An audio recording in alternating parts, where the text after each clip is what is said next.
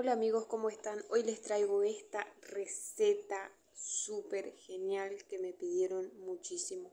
Bueno, vamos a empezar con jamón. Vamos a acomodar para poder cortarlos en cuadraditos. Vamos a ir cortando en cuadraditos y vamos a poner todo en un recipiente. Vamos a cortar todo. En este caso tengo 200 gramos de jamón también queso cremoso. Este que es el queso cremoso tiene que ser de una buena marca para que sea sabroso, para que le dé un rico sabor.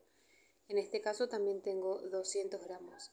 Estas cantidades son para que nuestra tarta quede así bien altita, bien alta, bien cargadita, tal cual se ve en la foto. Bien, ahí ahora también le agregaremos queso en barra, que este le vamos a rallar, queda mucho mejor rallado. Al queso cremoso lo cortamos en cubitos, eh, grandes o chicos, no importa, porque todo se va a cocinar y se va a unir perfectamente. Una vez que rallamos todo, lo ponemos en el recipiente junto al queso cremoso y al jamón. Ahora vamos a separar cuatro huevos.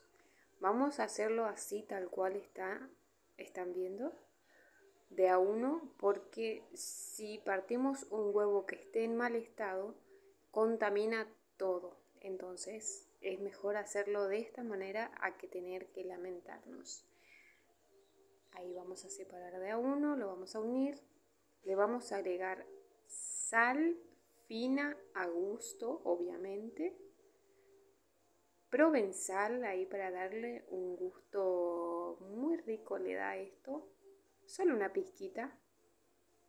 Es para agregar más sabor nada más. También está la opción de no ponerle si no te gusta.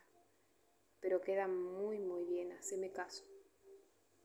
Ahí incorporamos todo al recipiente donde tenemos todos nuestros ingredientes revolvemos bien que esto quede bien, bien unido. Ahí revolvemos bien y ahora vamos a acomodar nuestra pascualina en una asadera, pisera o molde, lo que tengan. El mío es de tamaño mediano. Lo pincelamos con aceite y acomodamos nuestra pascualina. Generalmente compro las pascualinas hojaldrada, pero en este caso es pascualina eh, criolla. Vamos a cargar todo, todo lo que está en el recipiente y vamos a cerrar. El cerrado tiene que ser bien, bien cerrado, bien apretadito para que esta no reviente y se nos haga un caos con el huevo. Ahí emparejamos bien y vamos a cerrar. Ahí vamos a ir apretando bien todos los bordes, bien apretaditos y yo le voy a hacer un repulgue como el de la empanada. Lo vamos a pincelar con un poquito de huevo que a mí me quedó eh, en el plato.